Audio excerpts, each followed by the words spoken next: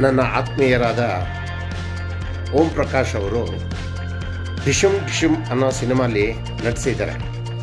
ನಾನು ಅದನ್ನು ವೀಕ್ಷಿಸಿದೆ. ತುಂಬ ಚೆನ್ನಾಗಿ ಅಭಿನಯನ ಮಾಡಿದ್ದಾರೆ.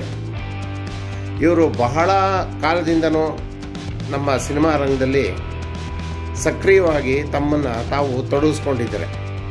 ಒಳ್ಳೆ ನಟ.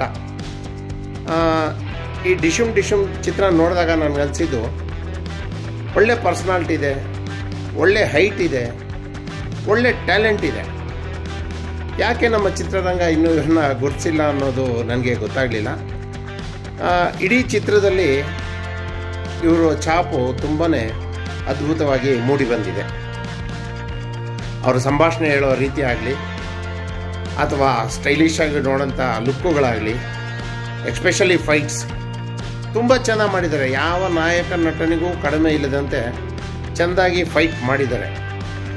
ಒಬ್ಬ ನಾಯಕ ನಟನಾಗುವ ಎಲ್ಲ ಲಕ್ಷಣಗಳು ಓಂ ಪ್ರಕಾಶ್ ಅವರಲ್ಲಿ ಇದೆ. ದೇವರವ್ರಿಗೆ ಒಳ್ಳೇದು ಮಾಡಲಿ.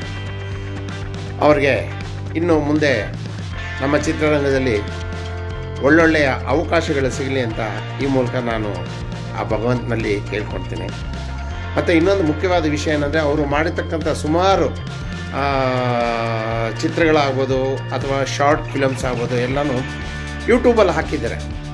ಆ ಯೂಟ್ಯೂಬಲ್ಲಿ ನನ್ನ ಆತ್ಮೀಯ ಸ್ನೇಹಿತರೆಲ್ಲರಿಗೂ ಮತ್ತು ನನ್ನ ಅಭಿಮಾನಿಗಳಿಗೂ ಹಾಗೂ ನನ್ನ ಸ್ನೇಹಿತರಿಗೂ ಕೇಳ್ಕೊಳೋದು ಏನಂತಂದರೆ, ಓಂ ಪ್ರಕಾಶ್ ಅವರು ಯೂಟ್ಯೂಬಲ್ಲಿ ಅಪ್ಲೋಡ್ ಮಾಡಿರ್ತಕ್ಕಂಥ ಎಲ್ಲ ವಿಡಿಯೋಗಳನ್ನ ಸಿನಿಮಾಗಳನ್ನ ನೋಡಿ ಅವ್ರಿಗೆ ಆಶೀರ್ವಾದ ಮಾಡಬೇಕಂತ ತಮ್ಮಲ್ಲಿ ಕೇಳ್ಕೊಳ್ತಾ ಇದ್ದೇನೆ. ಯಾಕಂದರೆ ಒಬ್ಬ ಉದಯೋನ್ಮುಖ ಬೆಳೆಯುತ್ತಿರೋ ಕಲಾವಿದನಿಗೆ ಇದು ನಾವು ನೋಡುವ, ನಾವು ಮಾಡುವ ಸಪೋರ್ಟ್ ದಯವಿಟ್ಟು ಎಲ್ಲರೂ ಅವ್ರು ಅಪ್ಲೋಡ್ ಮಾಡ್ತಕ್ಕಂಥ ವಿಡಿಯೋಗಳನ್ನ ನೋಡಬೇಕಾಗಿ ಕೇಳ್ಕೊಳ್ತಾ ಇದ್ದೇನೆ.